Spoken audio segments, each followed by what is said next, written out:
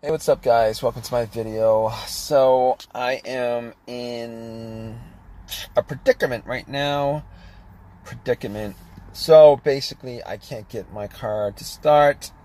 I can't get my car to turn over. I'm at a Wendy's. Went inside to get some food. At least I have some food to eat while I wait for a tow.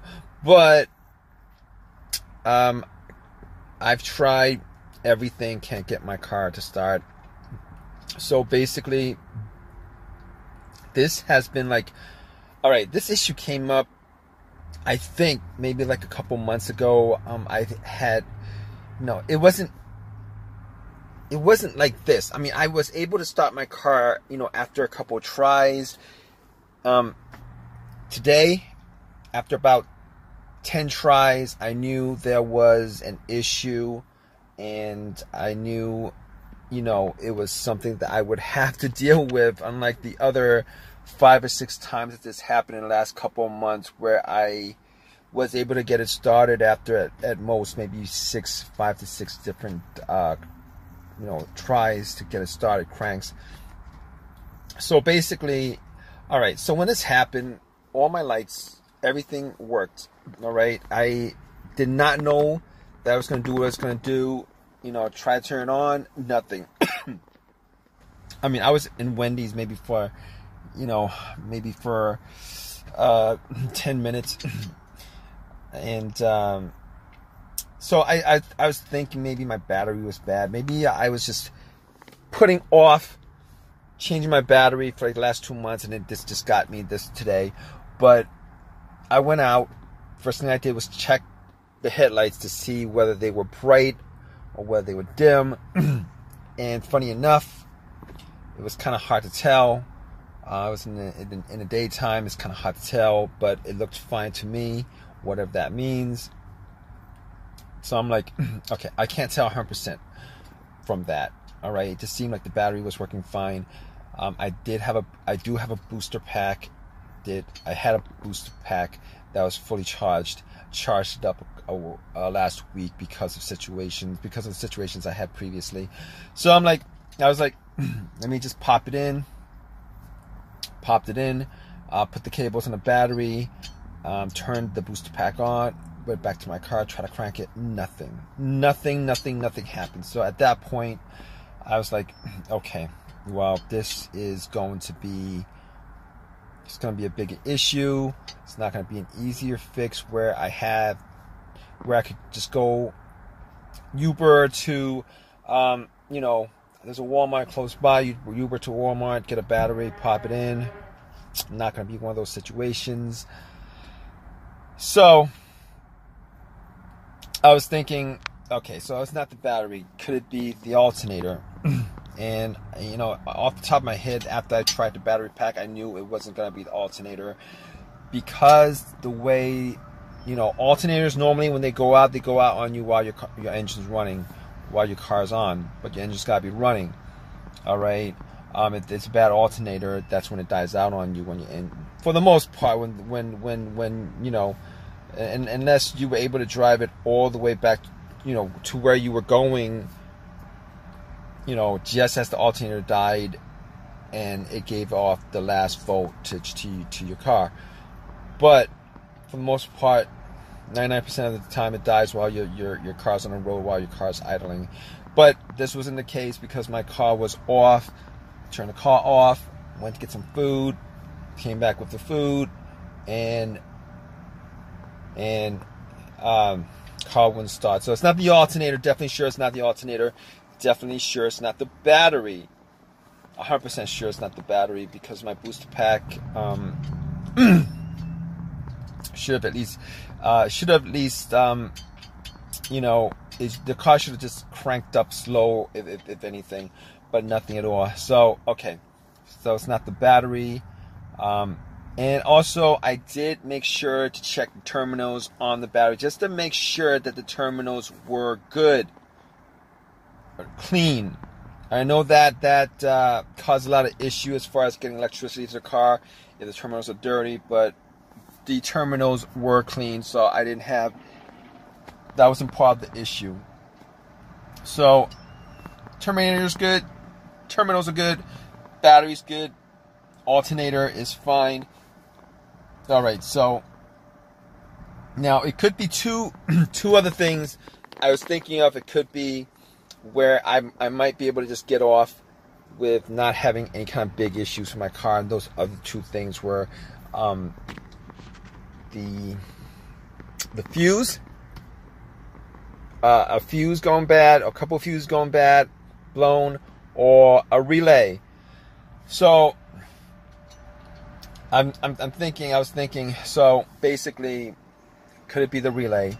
Now, every time I try to turn, crank, crank the car up, every time I try to turn on, um, I, I, I hear a click. It's a faint click, but you would hear a click. Um, so I'm like, okay. So normally what happens is, you know, it it you'd ha- you'd you'd have to look at the the uh, the the star relay. Now I don't think it's the star relay because hearing that click means that electricity is going to to the starter. It's going to the solenoid, but the but the starter is not turning. So it can't 99% sure it's not the relay because if you hear that click, it means that electricity is relaying from the battery to the relay to the starter solenoid. Fine, right? So I could I could pretty much knock that out. I mean, I can't be 100% sure of it because sometimes when you're in a car and you're hearing noises, you know, kind of sometimes it's hard to make out what those noises are. But I do hear a faint click. So I could rule out the relay at this point. All right, so I could rule out the relay. Could it be the fuses? All right, the, the fuse is pretty much, you know, could it be the fuse? All right, so going down the list of diagnosing this this issue as far as this uh, this this car is concerned, could it be um, a fuse? So here's the thing: I've had experiences with cars um, car's not starting because of a fuse issue. And those two issues I've had are this. One of the issues I had was I had the uh, an old car I had had a dead fuse and I was getting no power to anything. Like no power, no lights, nothing worked. Security doesn't work.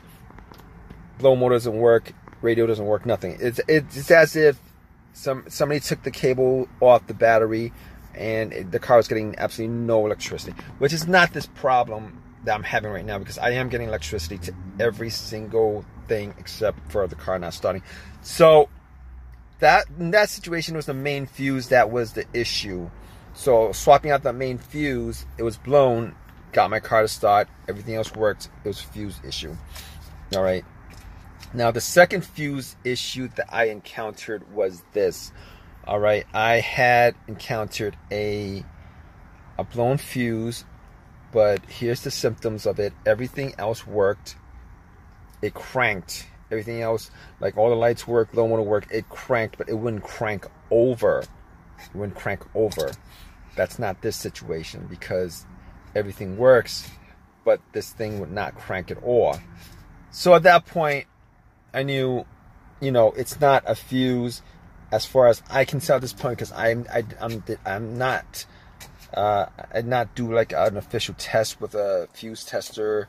I did not test out the relays, but just to diagnose this, I don't think it's the it's I, I don't think it's the fuses or the relays. So what else could it be?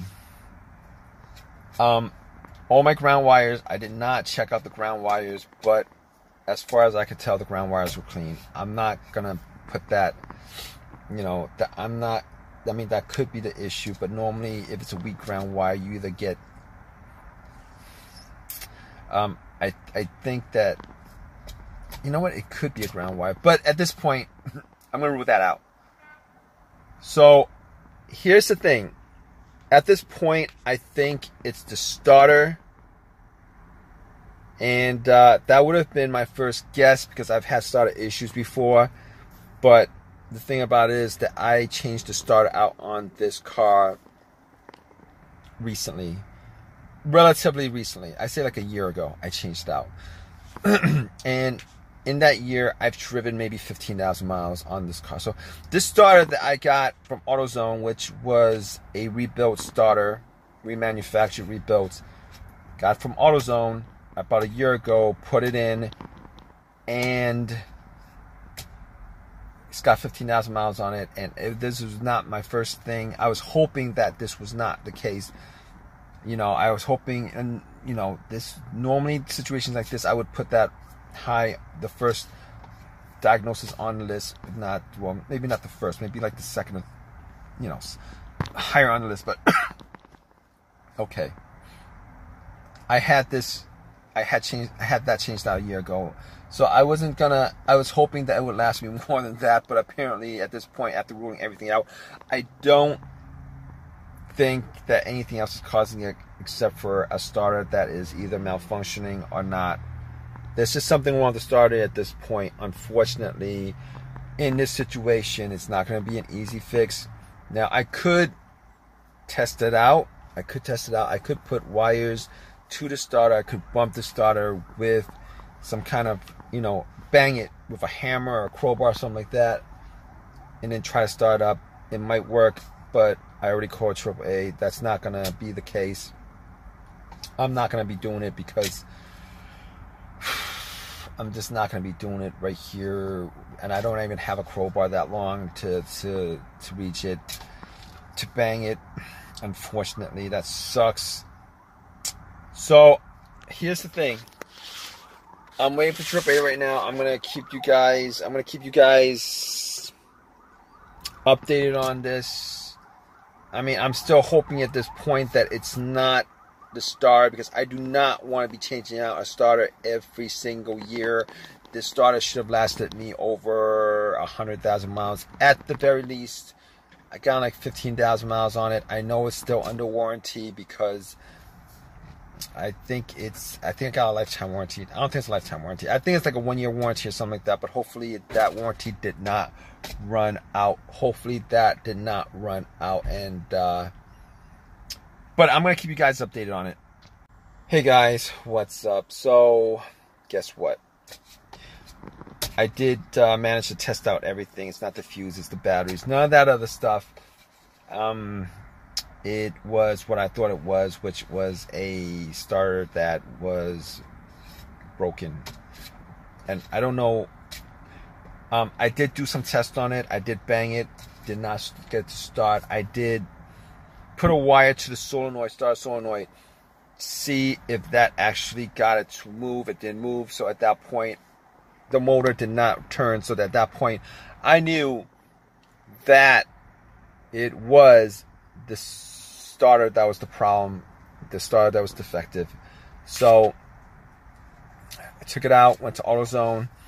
They gave me another rebuilt starter, which sucked considering I got this problem, this rebuilt starter, but I wasn't to shell out $300 or whatever it was for $300 cash out of my pocket, cash credit out of my pocket for another starter instead of getting a free one. So I just uh, if I had the choice, I would have gone on eBay and ordered one OEM used or whatever. But unfortunately, I don't have the time for that. But but I did put the starter in. It works fine now without a problem. Starts up immediately. Uh, so that was it. That was it. Um, if you guys, if this has helped you guys out, please uh, give me a thumbs up. Please please, um, you know, comment if you guys want to leave, drop a comment, and please subscribe, guys. All right, take care.